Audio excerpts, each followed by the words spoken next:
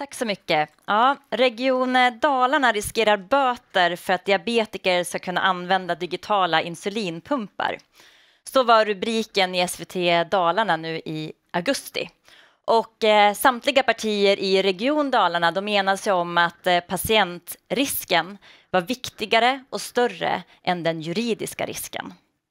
Vi har ställt oss på patientens sida, så sa regionstyrelsens ordförande. Osäkerheten är det största hindret inom hälso och sjukvården för att med hjälp av digitalisering förbättra tillgängligheten, patientsäkerheten och öka kvaliteten på vården. Tänk om vi hade förutsättningar och förmågan att med hjälp av den här framväxande smarta tekniken göra mer än att bara digitisera våra informationsmängder och processer som redan finns idag. Tänk om vi här skulle kunna hitta sätt att vända utvecklingen med att allt fler barn och ungdomar lider av psykisk ohälsa och att deras olika, olika behov skulle upptäckas så tidigt så att de aldrig behövde må så där fruktansvärt dåligt att livet inte är värt att leva.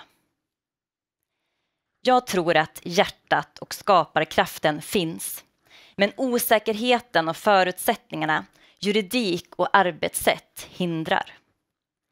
Kristdemokraterna är övertygade om att det behövs nationella beslut och ett nationellt ansvar för gemensamma standarder. Vi vill börja med journalsystem och kvalitetsregister och det behöver tillsättas en parlamentarisk utredning för att skapa förankring, diskutera etiska dilemman och föreslå långsiktiga spelregler, även om det låter tråkigt.